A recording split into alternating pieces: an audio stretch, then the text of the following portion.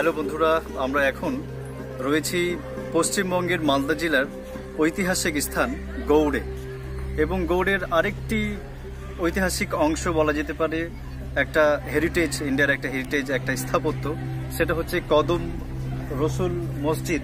আমরা এখন গৌড়ের একটা ঐতিহাসিক জায়গা, সেটা হচ্ছে কদম রসুল মসজিদে দাঁড়িয়ে আছি। আপনাদেরকে আমরা এই কদম রসুল মসজিদটা কত সালে স্থাপিত হয়েছে এবং সেটা কীভাবে কি হলো, আমরা জাস্ট একটু ডিটেলস আপনাদেরকে জানাতে চাই এবং পুরো মসজিদটা একটু আপনাদেরকে ঘুরিয়ে দেখাবো। আসুন আমার সঙ্গে। আমরা প্রথমে মসজিদের ঢোকার ডান দিকে একটা বোর্ড দেখতে পাচ্ছি এবং এখানে লেখা আছে, কদম রসুল মসজিদ ফিফটিন থার্টি ওয়ান পনেরোশো একত্রিশ খ্রিস্টাব্দে এটা স্থাপিত হয়েছিল। আমরা একটু পড়ি কি লেখা আছে, চতুষ্কোণ এক গম্ভুজ বিশিষ্ট এই গৃহটি সুলতান নসরত শাহের দ্বারা নির্মিত। নসরত শাহ, সুলতান নসরত শাহ এই মসজিদটি নির্মাণ করেছিলেন। এবং ইহাতে প্রস্তুতির উপর অবস্থিত হজরত মোহাম্মদের পদচিহ্ন স্থাপিত ছিল। এখন ইহা মহদিপুরে খাদেমের নিকট রক্ষিত আছে। সম্মুখে বিরামশালার ধ্বংসাবশেষ দেখা যায়। এই হচ্ছে আমরা ইতিহাসটা পড়লাম। এবং আপনাদের জানিয়ে রাখি যে এই ভেতরে যে মসজিদটি রয়েছে, সেই মসজিদে একটা কথিত আছে, চর্চিত আছে যে এখানে ইসলামের শেষ নবী হজরত মোহাম্মদ সাল্লাহ আলী আসাল্লামের পদচিহ্ন রাখা আছে। সেটা নিয়ে একটা যদি একটা বিতর্ক আছে, আলোচনার একটা পরিসর আছে। তো সেটা পরের ব্যাপার, কিন্তু আমরা আসুন, আমরা দেখাবো যে কদমের রসুল যেটা সেটা চিহ্নটা, অর্থাৎ প্রফিট মোহাম্মদের যে পদচিহ্ন ফুটপ্রিন্ট সেটা আমরা আপনাদেরকে দেখাবো।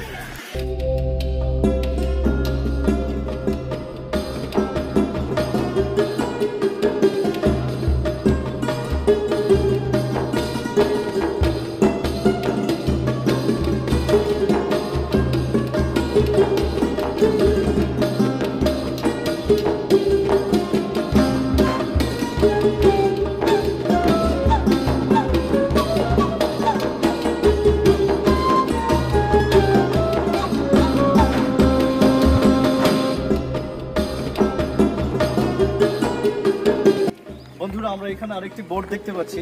দেখুন, লেখা আছে, ফতে খাঁয়ের সমাধি। ষোলোশো আটান্ন থেকে সতেরোশো সাত খ্রিস্টাব্দ।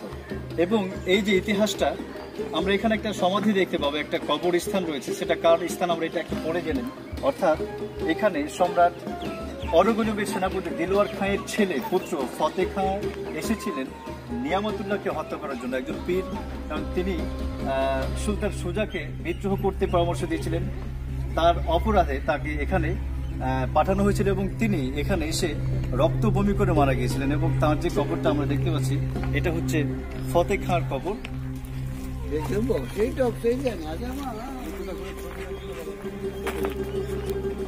আমরা একটু ভেতরে প্রবেশ করে দেখাচ্ছি আপনাদের।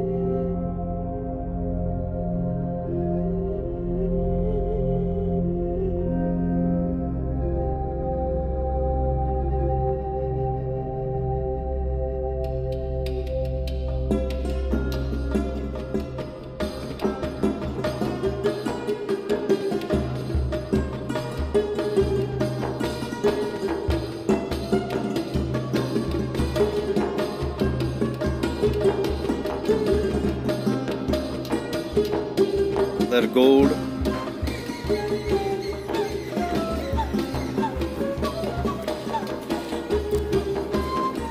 ডিয়ার ভিউয়ার্স আমরা দেখতে পাচ্ছি এখানে আপনি কি এই কদমের রসুল মসজিদের খাদেম? এখন বর্তমান পারব ওকে আসসালামু আলাইকুম। আপনার নামটা কি জানতে পারি? জামাল মোল্লা। আচ্ছা আপনি এখানে কতদিন ধরে আছেন? দু হাজার বারো থেকে আছি। তার আগে আমার দাদা কাকা বাবা এই ঠাকুরদা এরকম করতে করতে আমাদের জেনারেশন টু জেনারেশন খাদেম হিসেবে আছে আচ্ছা আচ্ছা আচ্ছা। আপনাদের পূর্বসূরি এখানে অনেকদিন খাদেম হিসেবে ছিলেন এবং উত্তরসূরি হিসেবে আপনি এখানে আছেন। আচ্ছা এখানে ভিতরে কি আছে? পদচিহ্ন প্রফেট মোহাম্মদ আচ্ছা ইসলামের শেষ নবী প্রফেট মোহাম্মদ সাল্লাহ আলী সাল্লামের পদচিহ্ন। পদচিহ্ন আছে। আমরা কি একটু যেতে পারি ভিতরে?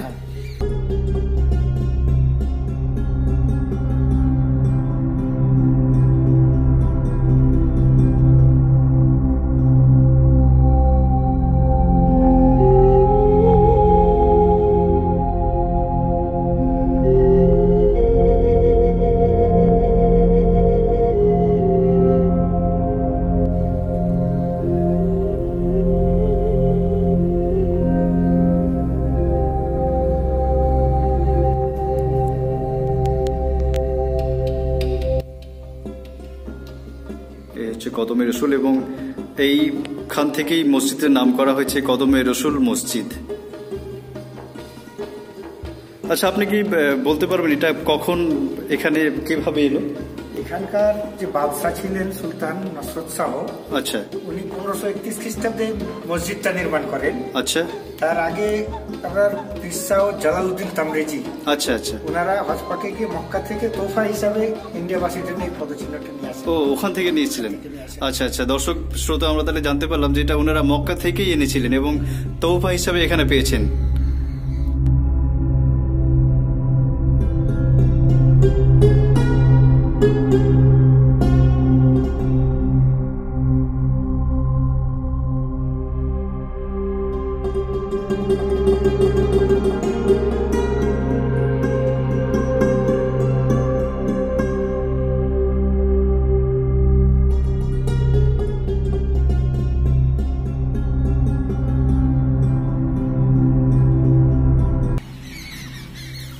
কদম রসুল মসজিদের খাদেম এমডি জামাল মোল্লা।